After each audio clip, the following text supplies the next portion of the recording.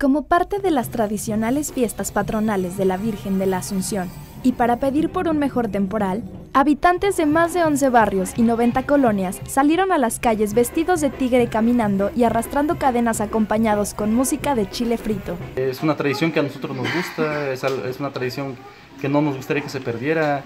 Eh, realmente lo que buscamos nosotros es resaltarla, porque hubo un tiempo en que sí empezó a, perderse y la verdad este, buscamos siempre eh, que hacerla de otra forma.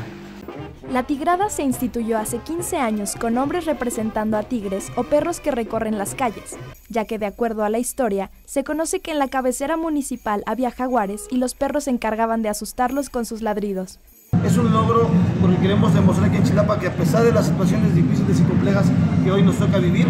estamos trabajando todos los días, que hombres y mujeres del municipio de Chilapa somos gente buena, trabajadora, hombres y mujeres todos los días salimos a ganarnos eh, eh, el sustento con el sudor de nuestra frente y quiero decirte que aquí en Chilapa es una ciudad, es, es, una, es un municipio que la gente es muy hospitalaria, la gente es muy trabajadora, hay muchas tradiciones, hay mucha cultura. Con información e imágenes de Adriana Covarrubias, corresponsal en Guerrero, Notimex.